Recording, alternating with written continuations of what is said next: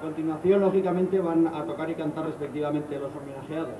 En primer lugar, va a ser interpretado el bolero de Alcañiz en su versión original con dos dulzainas, guitarrico y tambor, precisamente con las dulzainas reproducción de la del tío Tieso de Alcañiz, a cargo de los dulzaineros de Alcañiz. A continuación tocará Camilo Ronzano para luego seguir José Iranzo, el pastor de Andorra, interpretando las notas que son propias.